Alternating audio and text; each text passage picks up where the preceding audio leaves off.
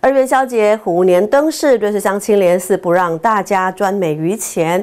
除了有在地青年制作大型虎头灯笼，以及猛虎战虎坐镇，主委陈廖安也发送虎头灯饰给前来参观的幼童小朋友们，开心立刻戴上，和青莲寺的两座猛虎比赛卖萌。透过镜头一起来看看谁比较卡哇伊。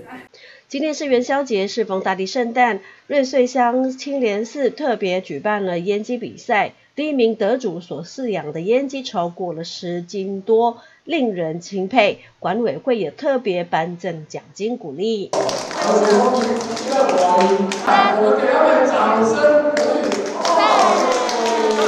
就是乡青莲寺为地方信仰中心，今年疫情考量，元宵节庆活动规模缩小，但是动静态的节庆活动样样精彩丰富。因为今年我们受到疫情的影响。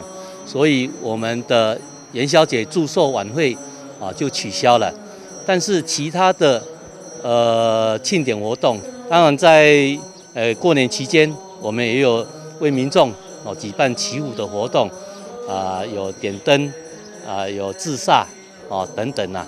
我们青年是希望啊今年虎年哦大家都能够过得非常的幸福啊非常的美满。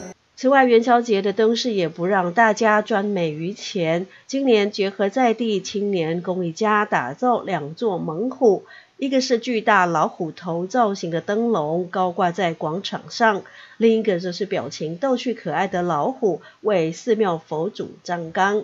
两只猛虎造型可，两只猛虎造型可爱俏皮，相当受到大人小孩的喜爱。二三。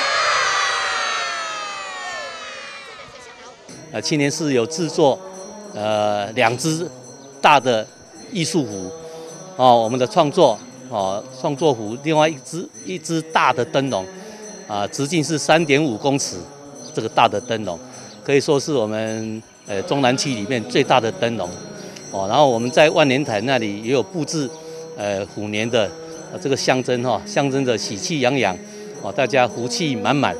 虎年新春庆元宵，日式乡青连四年节气氛浓厚。邻近的瑞美国小妇幼也来到现场，感受台湾传统民俗节庆。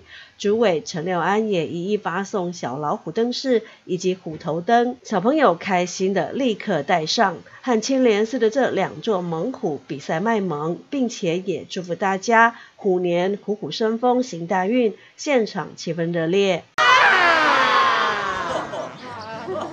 记者石玉兰瑞穗采访报道。